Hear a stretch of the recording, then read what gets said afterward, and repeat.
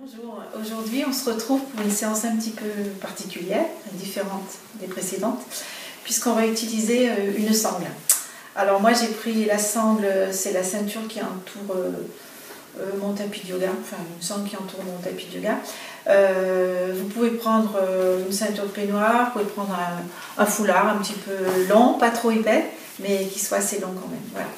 Donc c'est surtout, on va surtout travailler les étirements les étirements dans une première partie du haut du corps, donc surtout les épaules, les articulations des épaules. On travaillera un petit peu l'équilibre aussi. Et puis en deuxième partie, euh, on travaillera plus euh, les étirements des ischio-jambiers, ces muscles euh, derrière les cuisses là qu'il faut étirer parce que dans la vie quotidienne, ils se contractent. Donc il vaut mieux les étirer si on veut garder de la souplesse à ce niveau-là et, ne pas avoir de douleur surtout. Voilà, et ben c'est parti, euh, on y va euh, sur le tapis. Alors on s'installe comme d'habitude, les pieds largeur du bassin, les épaules loin des oreilles, le sommet de la tête poussé vers le plafond, le ventre rentré, le périnée verrouillé. Donc nous avons la sangle dans la main, la sangle ou euh, la ceinture, ce que vous avez pu trouver, l'élastique si vous avez un élastique. Et nous allons pour l'instant la saisir avec nos deux mains de la largeur des épaules. On va laisser une distance de la largeur des épaules. Et on va monter vers le plafond. Épaules loin des oreilles, ventre rentré, périnée verrouillé. Je descends sur un côté en soufflant. Les bras sont tendus. J'inspire en bas et je souffle. J'inspire et je souffle. Inspire et souffle. Encore une fois de chaque côté. Souffle, bras tendu. Descendez un petit peu plus bas peut-être. Remonte en soufflant. De l'autre côté. Souffle. Inspire et remonte en soufflant. On va relâcher. On va saisir la sangle un petit peu plus loin, un petit peu plus à l'extrémité, donc la largeur est un petit peu plus grande que la largeur des épaules. Et on va faire un exercice qu'on avait euh, fait avec le bâton il y a quelques séances, dans les premières séances. Donc on va monter nos deux bras vers le plafond, on va passer derrière sur le côté, on va fléchir le bras droit pour moi, je tends mes deux bras derrière, je fléchis le bras gauche, je repasse sur le côté et je remonte. Je peux changer la prise de la sangle. Et puis de l'autre côté, alors je vous le montre.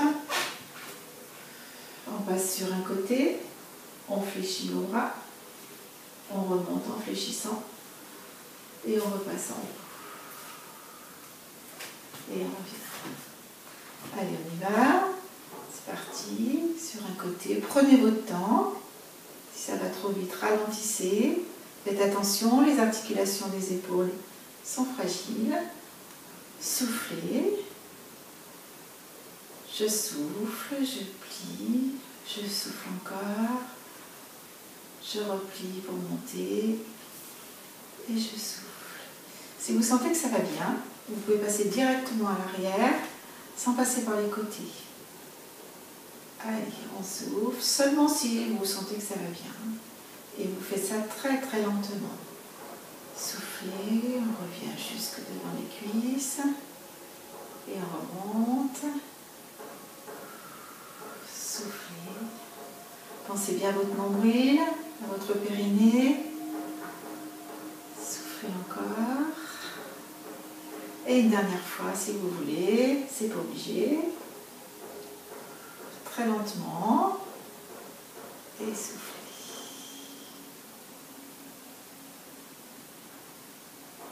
On relâche, on décontracte les épaules, on fait des cercles en avant, en arrière. Et on va enchaîner. Donc on va raccourcir un petit peu la prise de la sangle. On va positionner sa main gauche pour commencer au bas du dos. La main droite est ici, en haut. Et on va essayer de rapprocher ces deux mains l'une de l'autre. sur la sangle. La sangle va vous aider. Donc on sera là ou là, ou c'est vous qui voyez. Et puis vous allez, vous allez tirer une main vers le haut, une main vers le bas. En soufflant toujours, en gardant toujours le nombril près de la colonne vertébrale.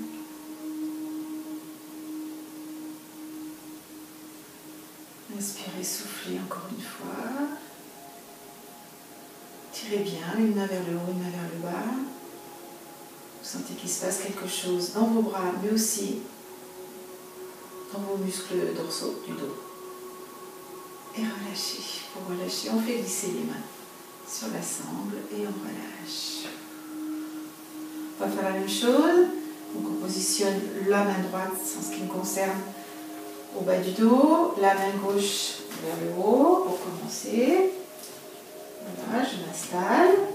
Et puis petit à petit, je fais glisser mes mains l'une vers l'autre. Il y en a une qui monte, l'autre qui descend. Et je tire une main vers le haut, une main vers le bas. Ne vous faites pas mal, ne tirez pas trop. Soufflez bien. On va faire trois expires. Deuxième. Nombril vers la colonne vertébrale. Périnée verrouillé. Et troisième, une main vers le bas, une main vers le haut. Et je relâche en douceur. Je fais glisser les mains sur la sangle. Et je relâche. Je peux relâcher la tête, je peux relâcher le haut du dos et souffler. Toujours avec la sangle, hein, puisque toute la séance de toute façon va se dérouler avec la sangle. On va la garder tout le temps. Vous verrez que c'est une aide très précieuse. Donc on va positionner le milieu du pied sur la sangle et on va prendre appui avec le pied gauche. Donc je prends appui avec mon pied gauche et c'est mon pied droit qui va travailler. Donc l'appui avec le pied gauche, c'est par quatre points. Euh, l'extérieur du gros orteil, l'extérieur du petit orteil et les deux extérieurs du talon. Donc on va bien prendre appui là. Euh, des petites astuces aussi pour tenir en équilibre, puisqu'il s'agit d'un exercice d'équilibre. Euh, il faut fixer un point, un point immobile. Il faut bien donc serrer le transverse, serrer ses abdos, bien souffler et bien se concentrer.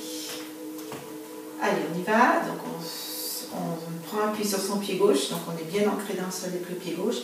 Et dès que vous êtes prête, dès que vous êtes prêt, vous décollez votre pied droit, vous montez votre genou, vous soufflez bien. Vous fixez un point immobile.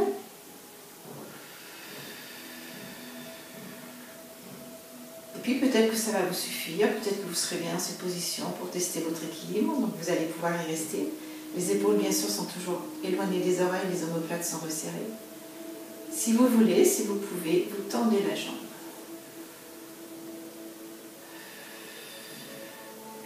Pouvez essayer de la lever un petit peu plus haut si c'est possible. Toujours en gardant une bonne, bonne posture. Nombril, périnée, épaules surtout, ne crispez pas les épaules. On reste encore quelques secondes. On ancre bien le pied gauche dans le sol. Et puis on va replier son pied, sa jambe droite. Et si on peut, en douceur, on repose. On souffle, on décontracte. On va le faire une deuxième fois. Il vaut mieux faire deux fois ou trois fois ou quatre fois sur le même pied plutôt qu'alterner. C'est plus facile. Hein. le corps s'habitue à ce qu'on lui demande, le cerveau aussi. Donc tout va mieux en principe. Donc à nouveau, je m'ancre bien sur mon pied gauche. Et puis il y a des jours où on n'a pas beaucoup d'équilibre, donc euh, eh bien c'est pas grave. Vous pouvez insister, mais du coup en prenant une aide. Donc là on peut s'aider du mur. Tout à fait. Hein. Tous les exercices d'équilibre, vous pourrez vous aider du mur. Donc au lieu de mettre les deux bras, ben, vous ferez avec un seul bras, c'est possible aussi, il n'y a pas de problème. Mais n'hésitez pas à, vous aider, à trouver de l'aide. Et puis si c'est vraiment trop difficile et trop crispant, eh bien, vous laissez tomber l'équilibre pour l'instant, vous reviendrez dans un moment ou demain. Ça ira certainement mieux. Allez, on y va, c'est la deuxième fois. Donc on prend bien appui sur son pied gauche, on fixe un point immobile, le reste du corps est détendu, les épaules sont relâchées. Le sommet de la tête est toujours poussé vers le plafond. Et si je peux, je tends ma jambe. Et si je peux, je tends mes bras. Épaules loin des oreilles, plâtre serré. Soufflez bien. Restez dans la position, montez un petit peu plus le pied. Si c'est possible, la jambe qui est en hauteur est tendue, la jambe par contre d'appui peut être légèrement fléchie. C'est parfois plus agréable. Donc n'hésitez pas. On peut tenir encore quelques secondes si c'est possible. Resserrez bien vos omoplates, vous sentez qu'il se passe quelque chose dans le dos. La jambe d'appui aussi travaille beaucoup. Allez, on plie. Et on redescend douceur si c'est possible. Et on relâche. On relâche les jambes. La jambe d'appui qui a bien travaillé. On relâche les épaules. Et on souffle. On change de jambe. Prenez votre temps, relâchez, soufflez. N'hésitez pas à prendre plus de temps pour vous relaxer, pour récupérer. On va prendre appui sur le pied droit. Donc on se souvient, les quatre appuis, gros orteil, petit orteil, les talons. On fixe un point. Et puis quand on est prêt, ou seulement quand on est prêt, on lève le genou. Garde bien les deux manches dans l'alignement. Et quand on est prêt, on serre bien le transverse. On déplie la jambe si c'est possible. On peut aussi tendre les bras. Soufflez bien. Concentrez-vous, fixez un point immobile. N'hésitez pas à vous tenir au mur s'il le faut. Allez, remontez un petit peu plus haut si c'est possible aussi. Décontractez le reste du corps. Et ah, il y a des ratés. Alors, on va s'aider les murs. Allez, on reprend. Où on en était? Les bras sont tendus. Voilà, comme ça, vous voyez bien mon pied. On peut s'aider du mur et puis l'enlever tout de suite après. Hein. C'est bien aussi. Et puis, quand on est prêt, on plie. Et en douceur, si c'est possible, on repose le pied. On décontracte, on relâche, on essaye pour une deuxième fois. Allez, on prend bien appui sur le pied droit. On souffle bien. On monte le genou. On peut s'arrêter là, c'est très bien aussi. On peut juste essayer de tendre les bras. Les deux manches sont bien parallèles. Fixez un point. Serrez votre transverse, votre périnée. Et quand vous êtes prêt, si vous voulez, vous tendez la jambe.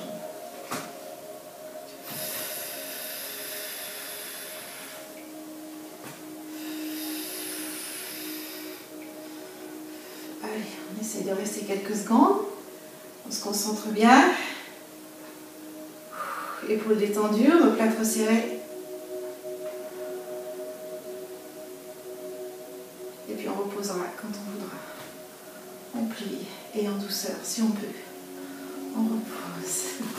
On décontracte les deux jambes, surtout la jambe d'appui qui a bien travaillé, qui nous a supporté. On continue? Allez, toujours un petit peu d'équilibre, donc n'hésitez pas à vous aider du mur. On va... Moi j'ai une boucle dans ma sangle, donc c'est très pratique. Donc si vous en avez une, vous allez l'utiliser. Si vous n'en avez pas, vous allez poser votre pied comme ceci sur l'élastique. Voilà, vous allez prendre le temps de vous installer correctement. Je vais la rapprocher pour que vous voyez bien. Sinon, si on a c'est bien aussi, c'est même mieux. On met le pied dans la boucle. Ok? Voilà, donc on est comme ceci. On va prendre appui sur le pied gauche. On va passer le pied derrière la sangle derrière. On va coller nos deux genoux l'un contre l'autre. Les deux jambes sont fléchies. Pour commencer, on se redresse. Et puis on va pousser le genou à l'arrière en poussant le pied dans la sangle. Attention aux épaules, épaules loin des oreilles. Vous pouvez légèrement pencher le buste à l'avant si vous êtes mieux. Soufflez.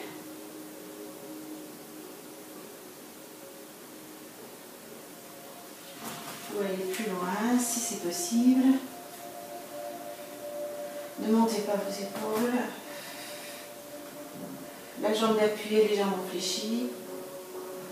Poussez un peu plus haut si c'est possible. Et redescendez en soufflant. On va faire une deuxième fois. Vous pouvez refaire vous chez vous une troisième. C'est bien aussi. Position de départ. La sangle sur le coup de pied. Elle peut glisser dans la cheville, c'est pas très grave. Serrez vos deux genoux au départ. La jambe d'appui. La jambe d'appui est fléchie. On se concentre bien, on se fixe bien avec le pied d'appui. Et puis on pousse le pied à l'arrière, le genou à l'arrière. On essaie de garder les deux hanches bien dans l'alignement. Les épaules loin des oreilles. On fixe un point. On serre bien le transverse. On rapproche bien le nombril de la colonne vertébrale. On souffle encore quelques secondes dans la position.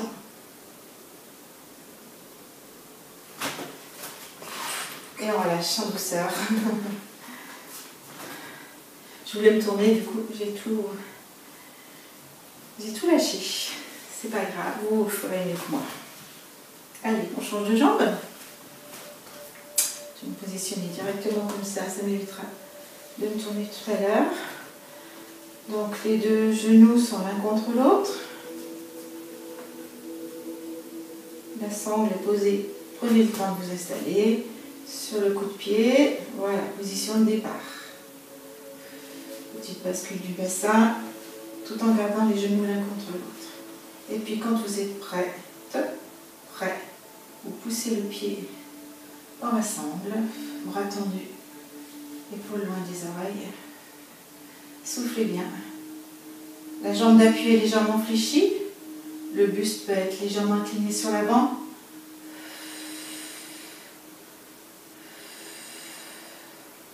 Soufflez, soufflez, soufflez. Relâchez quand vous voulez en douceur.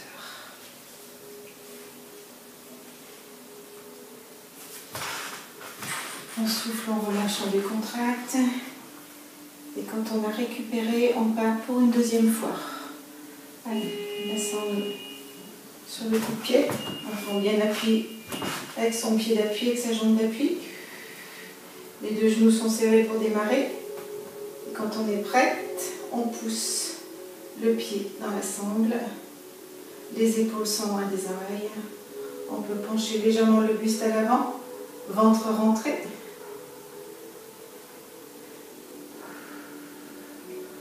monter un petit peu plus si c'est possible.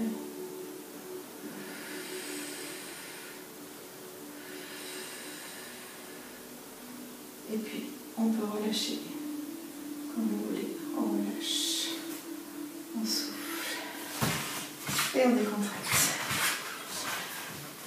Je vous montre la troisième option de ce, de ce petit équilibre. qui est donc euh, une évolution de cet exercice-là qu'on vient de faire. Donc vous remettez le pied dans la boucle, ou vous remettez votre pied dessus, ou vous remettez votre pied sur la sangle. Vous commencez tout de suite avec le mur. Euh, du coup, je vais comme ceci. Mets l'autre pied pour vous faire voir. Plus simple. Voilà. Donc le pied est dans la sangle, les deux genoux sont collés comme tout à l'heure on va tirer le pied vers l'arrière, comme tout à l'heure. Et puis, on va essayer d'attraper l'extrémité de la sangle avec les deux mains, les deux bras. Et pousser les coudes vers le plafond. Je ne sais pas si vous me voyez du coup. Ah non, vous ne voyez pas, donc je reprends ma place ici. C'est pas grave, je ne vais pas me tenir. Voilà. Donc la jambe d'appui est fléchie. Les coudes sont vers le plafond, les mains sont près de la sangle. Et vous essayez de décoller le pied de la fesse et de monter la jambe.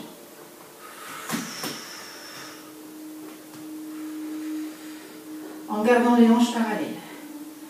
On reste encore quelques secondes. Ça chauffe, ça chauffe, ça chauffe, c'est normal. Et on relâche en douceur. Donc moi je vous conseille pour commencer le faire avec le mur, en vous aidant le mur. Et puis quand ça va bien, ben, vous enlevez l'aide. Mais vous pouvez la garder, hein. je vous aider. On change de pied? Allez. On va essayer de se concentrer davantage. De se concentrer, penser à tout. On, remet, on repositionne l'ensemble. Prenez votre temps, les genoux sont collés au départ. On lève le pied. Pousse le pied dans la sangle. Et quand tout va bien, les hanches restent parallèles. On essaye d'approcher les mains du pied, les coudes vers le haut.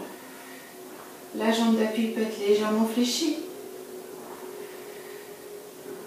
On pousse le pied dans la sangle et la jambe vers le haut. Avalez bien le nombril, soufflez bien.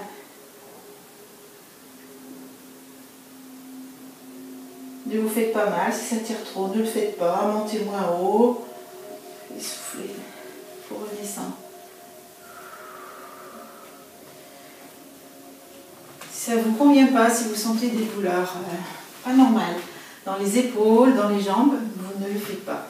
Vous refaites le précédent plusieurs fois, ce sera très bien aussi. Voilà, on va passer au sol maintenant. Donc pour passer au sol, vous vous souvenez qu'il y a plusieurs façons de passer au sol. Soit la position du chevalier servant, un genou à terre, un pied au sol, les deux genoux au sol. On bascule sur un côté et on pivote. Soit même départ pour arriver à genoux et ensuite on se couche sur le bras et on va carrément au sol. Et la deuxième solution pour passer de assis, genou, euh, dos au sol, c'est mettre ses coudes serrer ses abdos et descendre petit à petit le bas du dos, le milieu du dos et le haut du dos. Si on a un coussin, on en profite pour le mettre sur la tête et on va souffler. Donc on va relâcher, souffler quelques secondes juste pour récupérer un petit peu avant de continuer au sol. On va continuer à s'étirer puisque c'est essentiellement des étirements comme je vous l'avais dit dans cette euh, séance. Des étirements en douceur, donc il faut que ça reste agréable. Il ne faut pas vous faire mal, il faut vraiment vous sentiez que ça ne vous fait que du bien. Et là, on va continuer à étirer essentiellement les ischio-jambiers. Les ischio-jambiers, les muscles qui sont derrière les cuisses. Donc, on va poser euh, la sangle, pardon, ou l'élastique, ça peut être un élastique au milieu du pied. On va tendre la jambe vers le plafond, le pied flex. Elle peut être légèrement fléchie si vous sentez que ça fait vraiment mal. C'est intéressant d'étirer les ischio-jambiers parce qu'ils sont toujours en contraction. Lorsqu'on marche, lorsqu'on court, ils se contractent tout le temps. Donc il faut les étirer pour pas qu'ils soient douloureux et garder leur souplesse. L'autre jambe, elle est soit fléchie, le pied au sol, soit tendue. C'est vous qui voyez, vous allez essayer les deux solutions les deux options. Si vous tendez la jambe, vous en profitez pour étirer le psoas, les muscles fléchisseurs de la jambe. Mais ça peut être un petit peu difficile, voire douloureux. Donc si vous la pliez, du coup vous n'étirez pas ces muscles-là, vous travaillez essentiellement sur la jambe qui est tendue. Donc vous choisissez ce qui vous convient. Pour l'instant, la jambe est tendue au plafond, le pied est flex.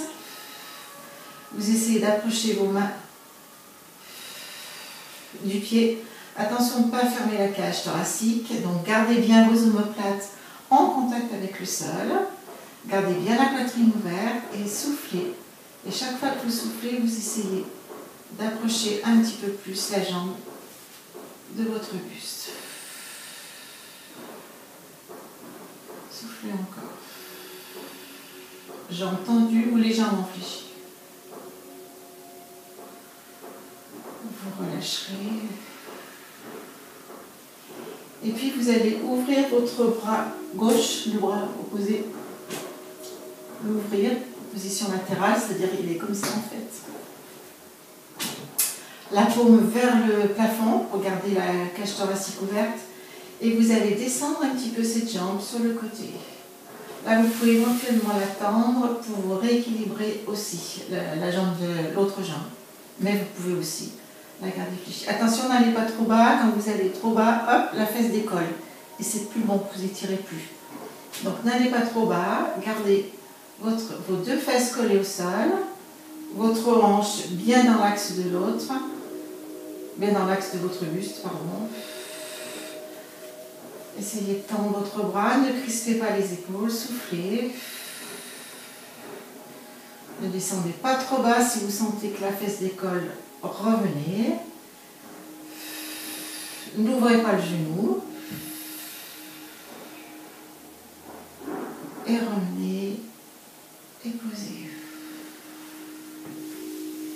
Très agréable à faire, ces exercices sont très agréables à faire, donc n'hésitez pas à les faire. N'hésitez pas à les adapter, hein, donc fléchir la jambe si ça vous fait mal euh, au muscle fléchisseur. Euh, la fléchir aussi ici, celle qui est vers le plafond, vous pouvez fléchir aussi un petit peu la jambe. Il faut que vous sentiez surtout que vous êtes en train d'étirer les ischio-jambiers, le muscle qui est derrière la cuisse. C'est le muscle en fait antagoniste du quadriceps, le quadriceps qui est dessus la cuisse, qui sur la cuisse. Donc on y va, la même chose. Attention, pas fermer les épaules, gardez vos omoplates en contact avec le sol. Tendez les bras. Vos deux hanches sont parallèles pour l'instant. N'ouvrez pas la hanche, n'ouvrez pas le genou de la jambe qui est fléchie. Et puis on y va. À chaque fois qu'on souffle, on approche la jambe du buste. On peut tendre l'autre jambe si on veut.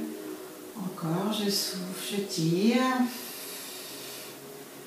Je peux rapprocher mes mains du pied.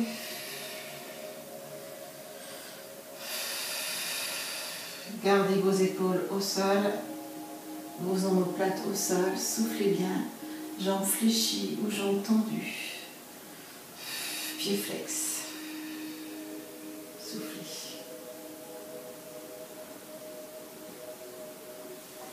Puis vous allez saisir euh, la bande, l'assemble pardon, avec une seule main. Posez l'autre bras latéralement et descendre sur le côté. Attention que la fesse ne se soulève pas. Donc gardez-la bien au sol. Gardez bien votre hanche dans l'axe. N'ouvrez pas. Gardez tout dans l'axe. Serrez bien vos fessiers de façon à ce qu'ils restent bien en contact avec le sol. Pensez à votre transverse, à votre périnée. Et descendez tout doucement la jambe sur le côté en soufflant.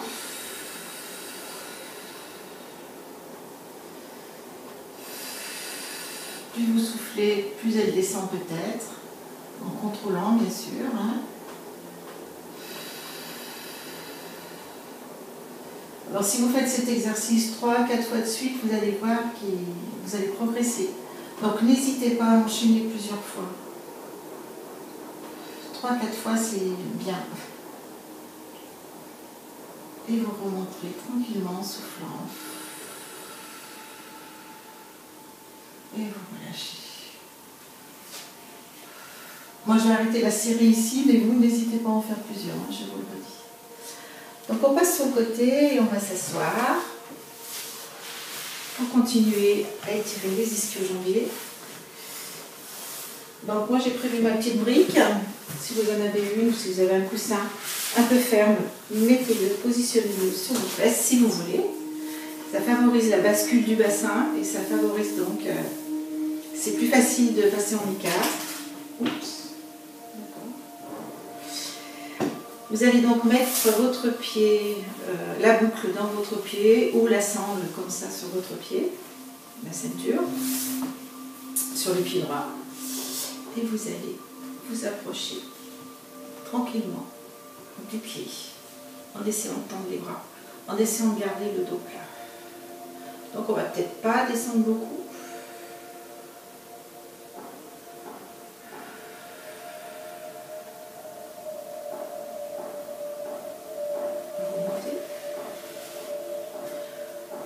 Bras gauche, vous allez l'étirer sur le côté, le passer au-dessus de la tête et descendre.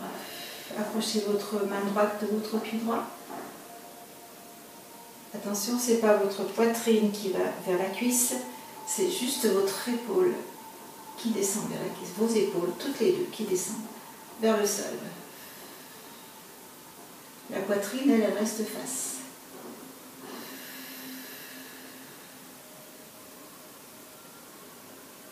Et remontez. On reprend. Alors, la petite brique, vous pouvez la garder ou l'enlever. Moi, je vais essayer aussi d'enlever, donc n'hésitez pas à faire des essais. Sauf que là, j'ai mal au talon. Voilà. Donc, on reprend. On essaye d'approcher ses mains du pied en gardant toujours le dos droit, les épaules loin des oreilles, les omoplates resserrées. Soufflez bien. L'idée, c'est d'aller mettre son ventre sur la cuisse sans arrondir le dos, hein, mais c'est en garder un dos plat.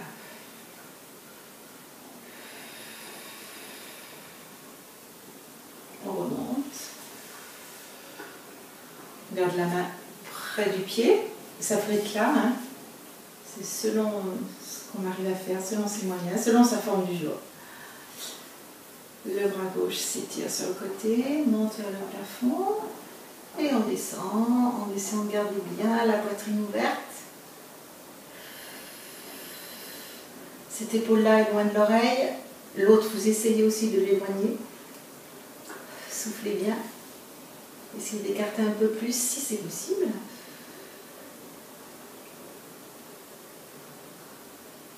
Et. On change. On passe la sangle de l'autre côté. Hop, on s'installe. Va bien.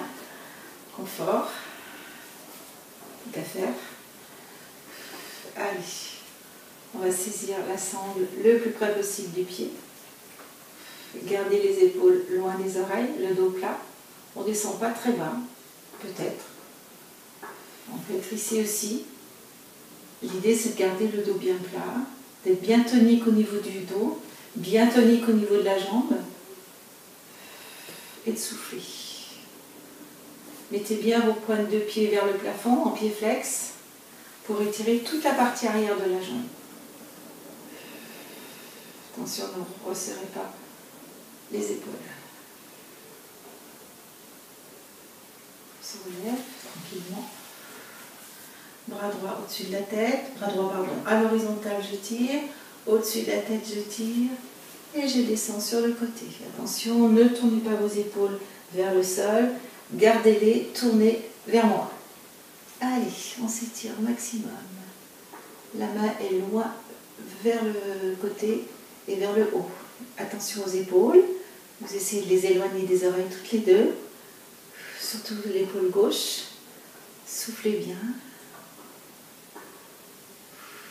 Essayez d'amener votre bras un petit peu plus à l'arrière si c'est possible. Et relâchez. Une musique, c'est pas grave. On va repasser les jambes fléchies, euh, les jambes tendues toutes les deux devant. On va repositionner la sangle sur la plante des pieds. On va se mettre en position dos droit, bien sur les ischions. Donc on peut tirer un petit peu là sur, sur la chair des fesses pour bien être installé. Ne partez pas à l'arrière, restez plutôt sur l'avant. Dos bien droit. Sommet de la tête poussée vers le plafond. Soufflez bien. Et puis vous allez essayer de descendre un petit peu sur ses jambes en gardant votre dos bien droit. Donc on va descendre très peu. Les épaules sont loin des oreilles, les omoplates sont resserrées, la nuque est dans le prolongement du dos. Vous activez vos abdominaux, le transverse, le périnée. Les épaules sont relâchées, loin des oreilles. Vous soufflez. Vos jambes sont actives, vos bras aussi.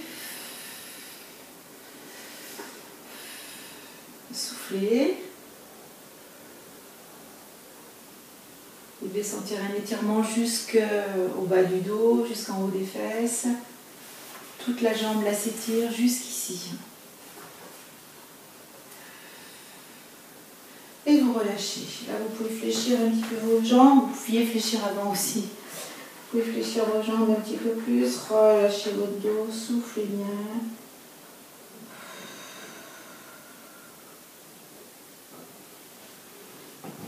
Pouvez enlever la sangle. Soufflez.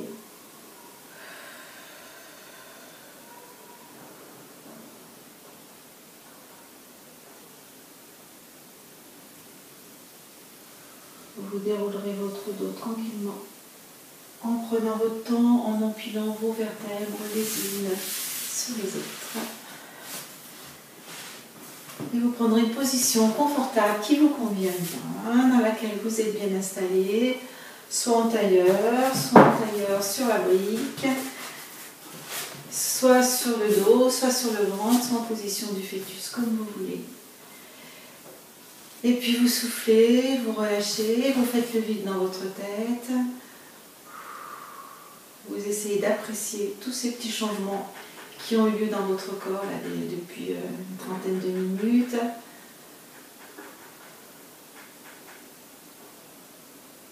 Et voilà, vous pouvez rester dans cette position aussi longtemps que vous voulez. Et puis je vous espère euh, en forme pour euh, continuer la journée, pour, pour continuer la semaine. Et puis je vous dis à bientôt, à la semaine prochaine en tous les cas. Au revoir.